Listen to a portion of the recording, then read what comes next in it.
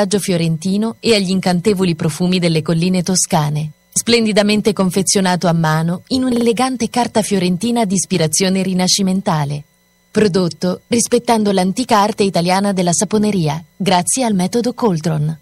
Nesti Dante rimane una delle poche compagnie nel mondo che continua a tramandare il metodo tradizionale di saponificazione.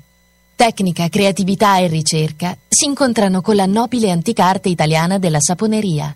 Sapone artigianale, di fama internazionale, sapone di lusso. Per maggiori informazioni visita il sito www.nestidante.com.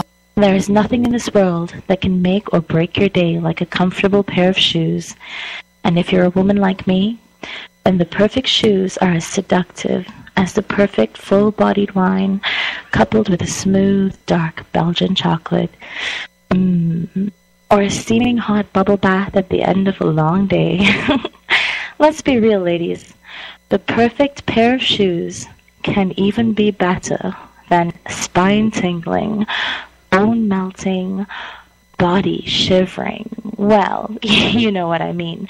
So, where do you get your perfect pair of shoes?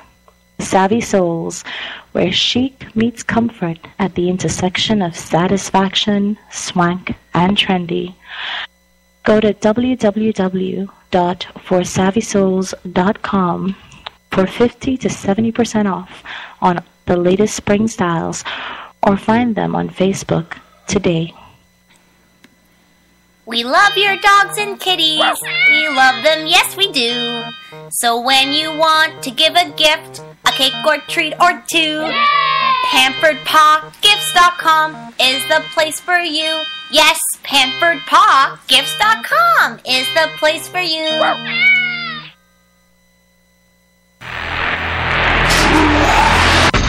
Whether building, expanding, or remodeling, the name in site work is Savino Contracting. Experts in demolition, excavation, sewer and septic tank installation, and site prep. Get in touch on Twitter at Savino Contract or call 508 989 0960 or email to evsavino at yahoo.com. Savino Contracting has what it takes to get the job done. Savino Wine Preservation System is wine preservation glassware. Savino is an easy to use wine preservation system that allows you to enjoy your favorite wines anytime without waiting for an occasion. Open any bottle with confidence, knowing that you can enjoy the full original flavor of Tuesday's wine on Saturday. For more information, visit us at www.savinowine.com.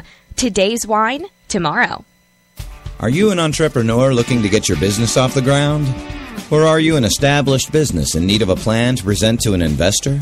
Keljo Solutions can provide you with the plan that presents you and your business to others in an organized, professional package. With affordable rates, we have the plan to fit your budget. Visit us on the web at www.keljo.net and watch your business grow. Your search for love and companionship ends here.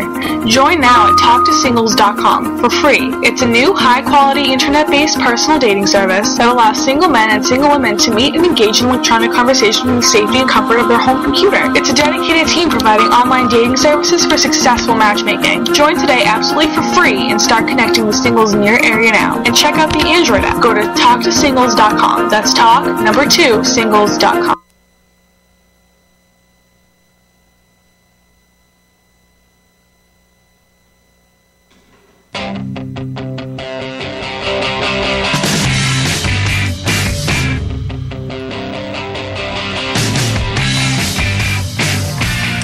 All right, we're back. We're rocking and rolling with Beth Banister on the RingCentral Celebrity Hotline. Just a reminder tonight's show brought to you by Eat24.com. It's like having a food truck in your pants. Download the app for your Android or iPhone, put in a zip code. They will find a restaurant in your area that delivers straight to your house. And do it all on Eat24.com. Welcome back to the show, Beth Banister of Second Right. We are unable during the commercial break to get Ryan Le back on here. I have no idea what's going on with his Skype, but it's uh, it's not working. Horrible. I, I think I think the left wing the left wing agenda got a hold of his Skype feed. well, we will try to get him back on the show uh, here later because uh, he's always got some great insight. He's one of the younger generation. He's uh, twenties, and uh, he's he's the next generation. I'm in, I'm almost fifty, so I'm almost 30. so you're in the twenties too. So you don't be in a hurry. I don't, well, no, because look, I have four kids, and according to my fiance, for each kid, it counts as 10 years. Ah. So I'm up there. so you're like eighty. He'll tell my daughter, you know, mom's 40, mom's turning 45, and she thought, she, like, he was serious. So one day when they were doing their school project for Mother's Day, it, like, asked how old your mom is. She wrote 50, um, and all this stuff, and I was just reading it. I was like, are you serious, Hannah? Oh man, Oh, Lordy. nice. Yeah. Ah, from the mouths of babes. Well, I tell you, I'm going to get off the Ferguson thing here. This, you, you, know, the point being, folks, is educate yourself. Don't don't get emotionally involved in something without knowing 100% of the facts. Uh, I don't know the officer personally, uh, but I, I I'm going to tend to believe, just from my experience, that especially with the lack of respect that is shown to uh, police officers by the younger generation, that uh, uh, it's not too far out of the realm of possibility that this six foot four, 270 pound man uh, overpowered a, a five foot seven, 140 pound uh, police officer and punched him in the face. And that's what, you know, you, you, you punch somebody in the face, you punch a cop in the face, all bets are off. I'm sorry, all bets are off. I mean, that's, you know, you, can't sit back with days and weeks of speculation saying, well, the officer used excessive force. If somebody's punching me in the face and I'm a police officer, my first thought is not my ego, it's protect my gun. Because every Yeah. every fight with a cop, whether the subject is unarmed or not, is a gunfight Yeah. and it's a fight for control of that weapon. And and and it and it's if it comes out that Michael Brown was overpowering this officer, tried to get his gun, his gun went off, or he got shot in the process of trying to get the officer's gun, all bets are off. Yeah. It's not about cigars or walking down the middle of the street anymore. Uh, but either that information is being suppressed, which very well could be, since uh, Eric Holder uh, already wanted to suppress some of the evidence, uh, and that's confirmed that he that he wanted to suppress it. Now he's down there, probably doing damage control, probably directing the propaganda to tell us how to think, and it's just it's sad. strange world we live in and you always wonder well you know what could this be or what could this be and that's what my mind always races is okay well if they're doing this like what's what's really behind it what are they really trying to get out of this by sending eric holder in Well, it's high profile, so everybody's going to want to milk it for their for their own uh, personal use or their own personal propaganda. So the president, of course, is going to jump all over it. Uh, so that's that's that. And, and of course, the more controversy and the more division there is, the better it is for the politician. Because then the politician, see, politicians make their life by convincing us that they solve problems. Well, in order to be a problem solver, you have to have a problem.